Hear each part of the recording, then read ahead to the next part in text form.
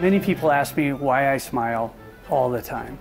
And after 26 years of working here at the Princess, I can truly tell you I'm living the dream. I am blessed to be part of what we've created. So, this being our ninth year of one of our legacy events is Christmas at the Princess. And we label them le legacy events because we want not only for the parents to bring their kids, but as the kids get older, they'll end up bringing them and their kids. And we want to be part of that, part of the community, and part of generations to come. Over the last nine years at Christmas of the Princess, I've watched families come and take their pictures, and the, the kids will come the next year and see how tall they've reached to that next ornament. It's beautiful. Being part of Christmas at the Princess has allowed me to see many things that we do.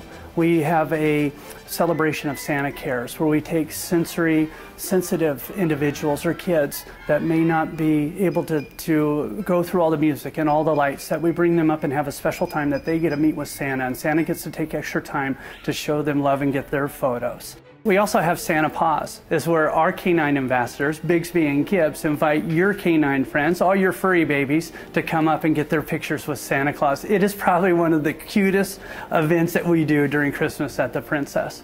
And at Christmas Day, we like to take all five of our amazing chefs, all the executive chefs come up with their best recipes, all their family traditions for Christmas brunch and we have an amazing time that you get to eat, drink, have family time, and have zero of the stress of cooking.